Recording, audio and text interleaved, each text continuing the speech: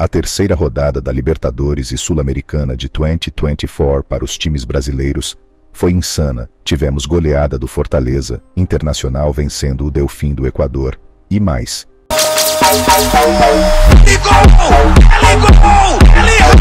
E vamos começar com o Botafogo e Universitário do Peru.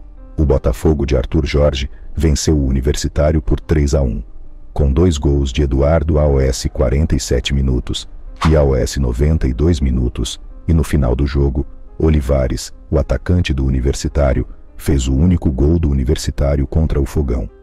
Já no grupo E, o Flamengo perdeu de 2 a 1 para o Bolívar, e detalhe que jogaram na altitude, começou com o Francisco da Costa fazendo gol no início do jogo para a equipe do Bolívar. Porém Tite colocou Matias Vinha como meio-campista. A esperança da torcida flamenguista estava nas alturas, porém o brasileiro, Bruno Sávio, fez o gol da virada AOS 64 minutos do segundo tempo e foi na casa do Bolívar, no jogo entre Independiente Del Valle contra o Palmeiras, o time de Abel Ferreira tomou dois gols logo no primeiro tempo, porém Hendrick, o jogador de 17 anos, diminuiu. E a esperança do Palmeiras cresceu, pois Lázaro empatou o jogo para o Verdão e no finalzinho Luiz Guilherme fez um golaço e garantiu a vitória do Palmeiras. Indo para a Sul-Americana, o Atlético Paranaense venceu o Danúbio do Uruguai por 1 a 0 e Bento, o goleiro do Atlético, impediu do Danúbio empatar o jogo. Teve um lance que a defesa teve que tirar a bola antes de entrar no gol.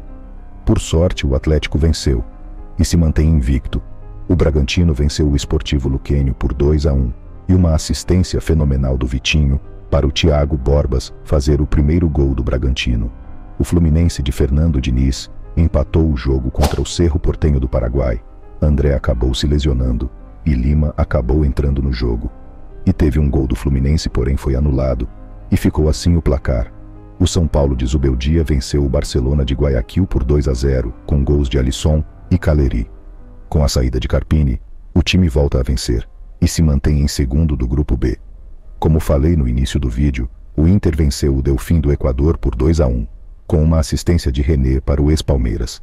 E para fechar, o Fortaleza meteu uma surra no Boca Juniors por 4 a 2, com dois gols de Pikachu e Lucero Merentiel até empatou para o Boca, mas não adiantou de nada.